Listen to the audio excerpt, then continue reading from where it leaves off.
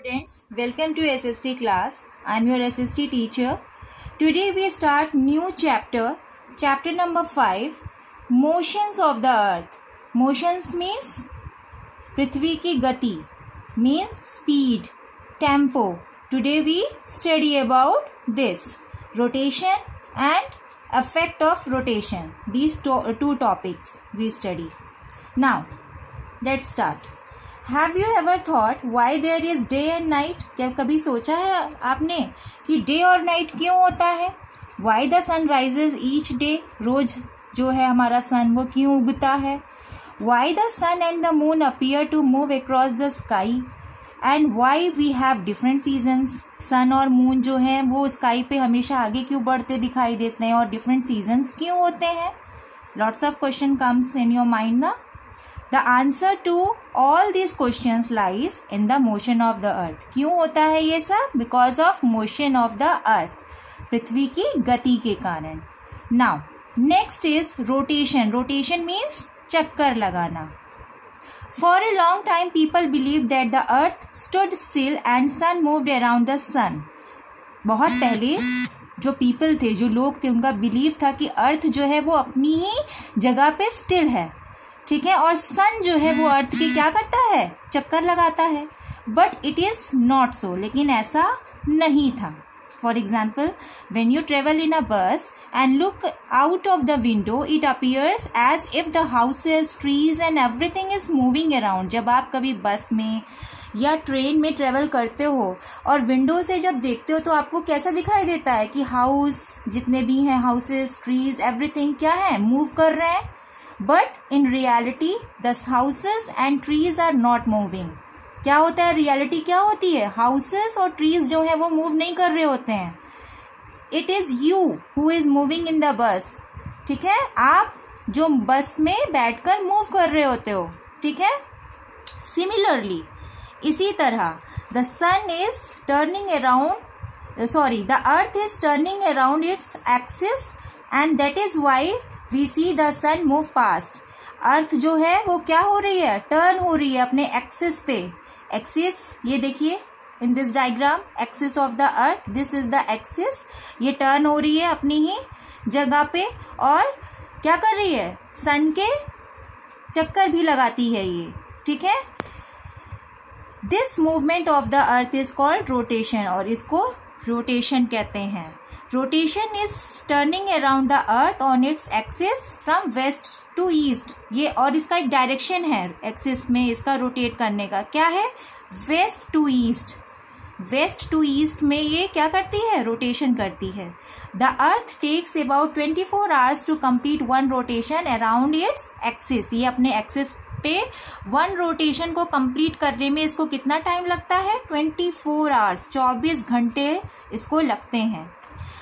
The earth axis is an imaginary line running through it on which the earth spins it goes through the north and the south pole see in this diagram this is the north pole and this is the south pole ठीक है? These are the imaginary lines the axis of the earth is not vertical मतलब जो हमारी earth का जो axis है vertical means खड़ी नहीं है, हल्की सी टिल्ड है, टेढ़ी है। कितना? It is tilted at an angle of twenty three and half degree from the vertical the tilting of the earth axis is also called inclination inclination means झुकी है अपने axis pay off the earth axis हल्की सी ये झुकी हुई है अपने एक्सेस पे।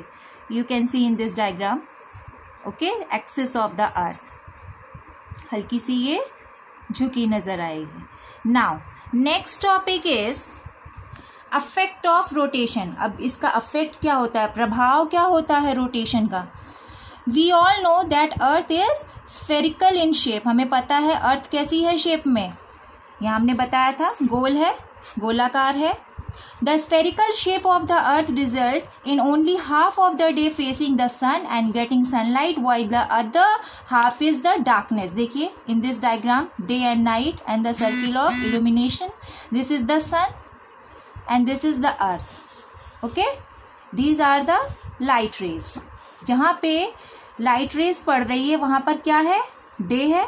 और जो इसका बैक साइड है, जहाँ पे लाइट रेज नहीं पड़ रही है, वहाँ पे क्या है? नाइट है. The portion of the facing the portion facing the earth experiences day while the other half away from the sun experiences night अभी मैंने आपको बताया जहाँ पर रोशनी पड़ रही है लाइट पड़ रही है, वहाँ पर डे होगा और जहाँ पर लाइट नहीं पड़ रही है सन की, वहाँ पर नाइट होगा।